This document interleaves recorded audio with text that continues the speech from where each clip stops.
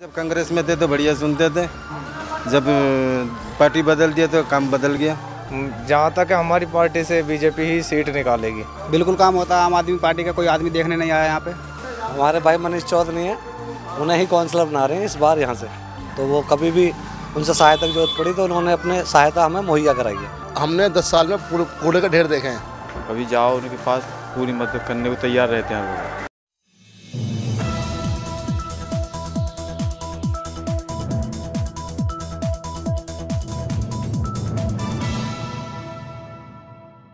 Delhi MCD चुनाव को लेकर इस वक्त हम सरिता विहार के गाँव जसोला में मौजूद हैं। यहाँ पर हमारे साथ यहाँ के कुछ स्थानीय लोग हैं इनसे हम बातचीत करके इनकी राय जानेंगे कि इस बार के एमसीडी चुनाव में वो लोग किसे भरोसे पर ले रहे हैं। क्या है इस बार? उम्मीद क्या आपको लग रही है किसे आप भरोसे पर ले रहे हैं? आम पार्टी।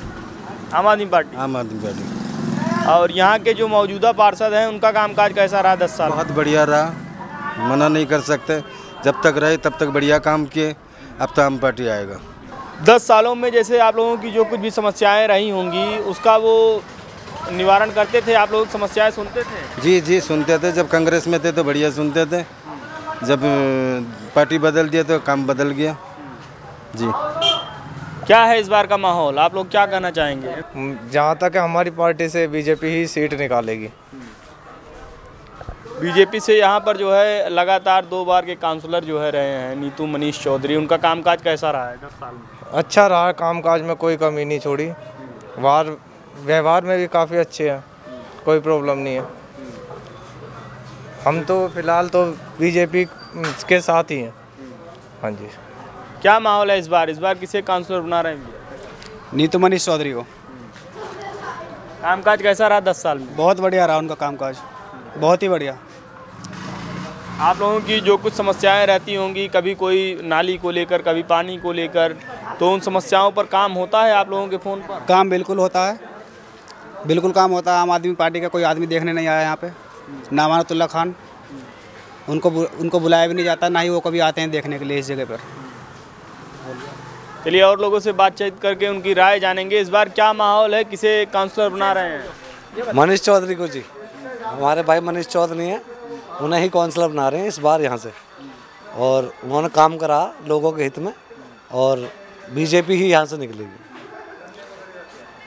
और अच्छे नेता हैं पुराने नेता हैं। दस साल में क्या कुछ उन्होंने कितना काम किया है? दस साल में काफ़ी कुछ काम करा उन्होंने जसौले के लिए और हमेशा लोगों के लिए एट द टाइम खड़े रहते हैं लोगों के साथ। ये बहुत बड़ी बात है। एक गरीब के साथ खड़े होना बहुत बड़ी बात है। तो वो कभी भी उनसे सहायता की ज़रूरत पड़ी तो उन्होंने अपने सहायता हमें मुहैया कराई है। हमेशा। क्या कहना चाहेंगे भैया इस बार एम सी चुनाव को लेकर? भाई हमारी तो पार्टी कांग्रेस है हम कांग्रेस को वोट देंगे। हम तो कांग्रेस साथ खड़े हैं शुरू से। कांग्रेस से ईमानदार पार्टी कोई नहीं है। तो दस दस साल बीत गए दो कार्यकाल आपने देखा नीतू मनीष चौधरी का एक काउंसलर के तौर पर उनका कामकाज कैसा रहा? भाई ऐसा है कि हमने दस साल में कूड़े कूड़े का ढेर देखे हैं। आप कहीं भी चलो दिल्ली के अंदर मिट्टी धूल मिट्टी कूड़े आपको ढेर मिलेंगे कुछ काम नहीं हुआ। आपका काउंसलर कितना काम किया? भाई मैं तो मैं तो इस टाइम नया नया हूँ मुझे बंद जो पुराने उन्हें पता होगा। मगर हमें तो अभी अपनी देख रहे हैं कि रोड में मट्टी है कूड़ा है। क्या कहना चाहेंगे इस बार किसे पार्षद बना रहे हैं? ये तो चौधरी। मनीष चौधरी। बीजेपी को सपोर्ट कर रहे हैं। जी। दस साल में कैसा कामकाज रहा बीजेपी का। बहुत अच्छा रहा है जी उनका तो। बहुत अच्छा है। दस साल वो काउंसलर रहे हैं कैसा कामकाज रहा? उनका बहुत बढ़िया है जी। आप लोगों को कोई परेशानी होती है तो मदद की जाती है? हाँ जी पूरी मदद करते हैं वो। कभी जाओ उनके पास पूरी मदद करने को तैयार रहते हैं लोग। चलिए और लोगों से बातचीत करके उनकी राय जानने की कोशिश करेंगे कि इस बार जो है एमसीडी के चुनाव में लोग किसे भरोसे पर ले रहे हैं। क्या कुछ कहना चाहेंगे इस बार जो है एमसीडी के लिए? आम आदमी पार्टी। यहाँ से 10 साल के 10 साल से काउंसलर रहे हैं। बीजेपी जो बीजेपी में चले गए नीतू मनीष चौधरी उनका कामकाज कैसा रहा? है भाई मैं तो यहाँ पर नया हूँ। मेरा विधानसभा ये पड़ता है बदरपुर। क्या कहना चाहेंगे? भैया भैया यहाँ पर तो मनीष चौधरी है जी। मनीष चौधरी के साथ हम बाकी दस साल का कामकाज कैसा रहा? बढ़िया जी बढ़िया। बेहतरीन। ना भी बीजेपी है।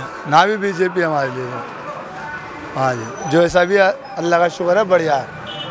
हमें किसी से कोई दिक्कत नहीं बीजेपी जो वोट जाएगा हमारा तो। तो जैसा कि आपने देखा हमने यहाँ पर जसोला गाँव में अलग अलग लोगों से बातचीत की तो सरचा बिहार के जसोला गाँव में अ, लोगों की मिली जुली प्रतिक्रिया है। आ, अलग अलग लोग अपने अलग अलग जो है नेता को पसंद कर रहे हैं कोई आम आदमी पार्टी को सपोर्ट कर रहा है कोई बीजेपी को तो कुछ लोग कांग्रेस को भी सपोर्ट कर रहे हैं। अलग अलग लोग अलग अलग कारणों से अलग अलग पॉलिटिशियंस को सपोर्ट कर रहे हैं। वीडियो जर्नलिस्ट मनोज के साथ मयंक तिवारी जसोला गाँव सरिता बिहार दिल्ली।